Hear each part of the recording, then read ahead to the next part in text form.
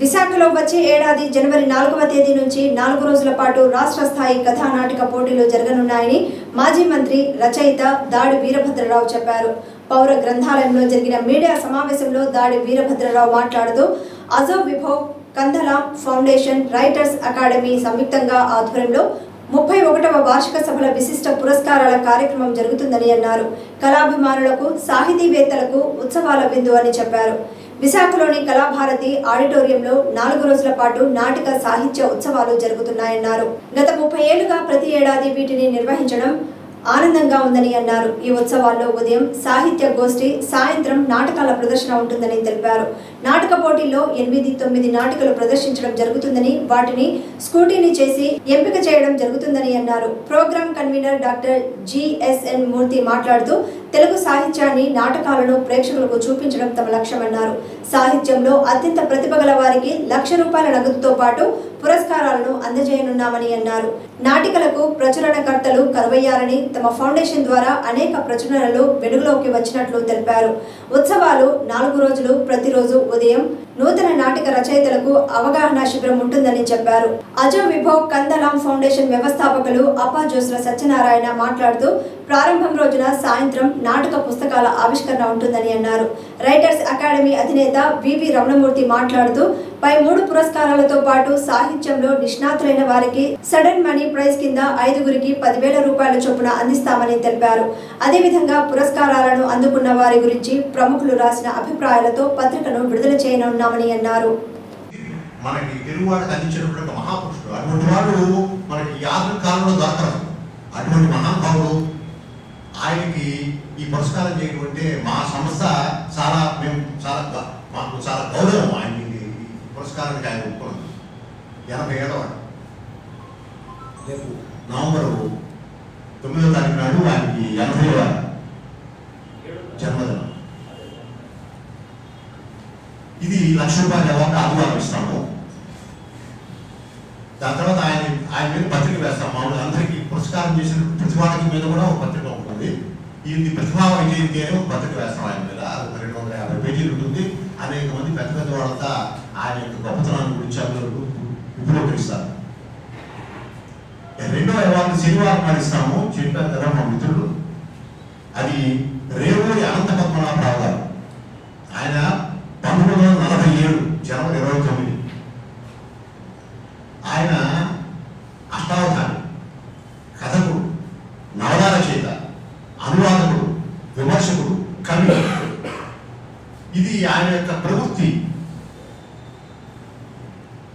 కందుకూరు రుద్రరావు గారిని పిహెచ్డీ చేశాడు. ఆయన ఇప్పుడు చాలా పాతకాలం ఉన్నాడు గవర్నమెంట్ కాలేజీలో లెక్చరర్గా ప్రారంభించి చివరికి ఆయన ఆ దూరదర్శన్లో డైరెక్టర్ జనరల్గా రిటైర్ అయ్యాడు.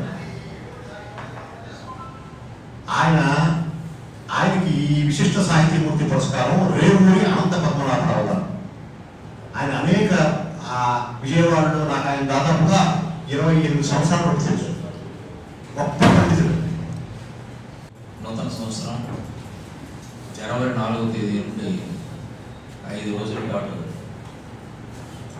నాటక సాహిత్య ఉత్సవాలు జరగబోతున్నాయి.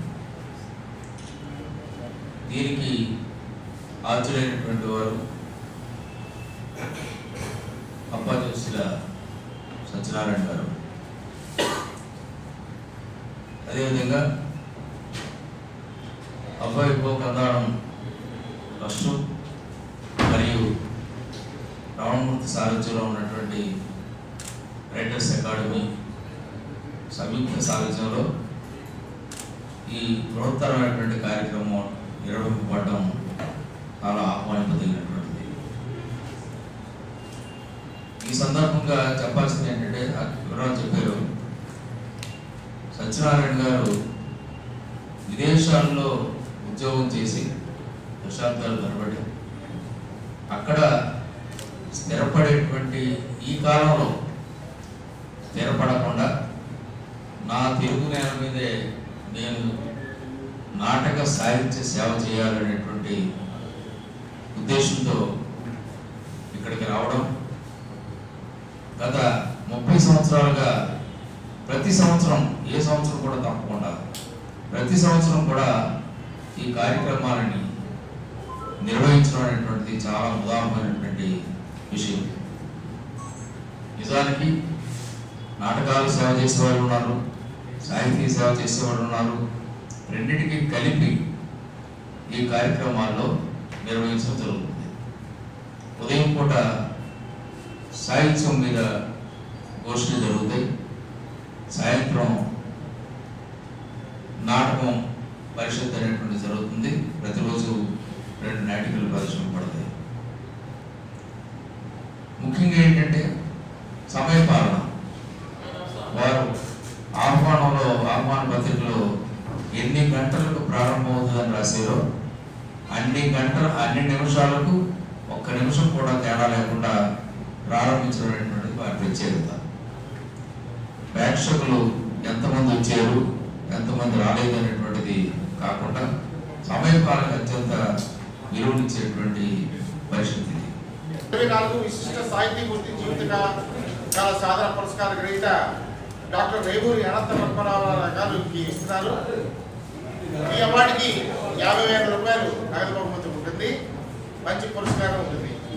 అలాగే రెండు వేల ఇరవై నాలుగు సరిలేరు నీకెవరు విశిష్ట గిరిజన కథా సాహిత్య పురస్కార గ్రహీత శ్రీ మల్లిపురం జగదీష్ గారికి ని ఎంపిక చేయడం జరిగింది. వారికి ఇరవై ఐదు వేల రూపాయల నగదు బహుమతి ఇవ్వడం జరుగుతుంది. అంతేకాకుండా దీంట్లో విశిష్టంగా అప్పటికప్పుడు కొంతమందిని ఎంపిక చేసి అంటే ఎవరికి అవార్డు ఇస్తున్నారో తెలియదు. వారిని వేదిక మీదకి పిలిచి వారి వారి రంగాల్లో నిష్ణాతులైన వారిని షడన్గా పిలిచి ఒక పదివేల రూపాయల నగదు బహుమతితో సత్కరిస్తారు. అది ఎవరు అనేది ఆ రోజు వరకు ఎవరికి తెలియదు. మాకు కూడా తెలియదు. ఎవరికి తెలియదు. అప్పటికప్పుడు డిసైడ్ చేస్తారు. అటువంటివి ఒక ఐదు మందికి ఇవ్వాలని చెప్పి కమిటీ నిర్ణయించడం జరిగింది. ఇటువంటి విశిష్టమైన కార్యక్రమం విశాఖపట్నంలో ముప్పై ఏళ్ళ తర్వాత జరుగుతోంది. అందువల్ల మన మీడియా మిత్రులందరూ కూడా సహకరించి దీనికి మంచి ప్రపంచ ఖ్యాతి తీసుకొచ్చేలాగా ఎందువల్ల దీనికి ఆడియన్స్ చాలా మంది ఉంటారు. అమెరికాలో ఉన్న తెలుగు వాళ్ళందరూ కూడా దీనికి ఆడియన్స్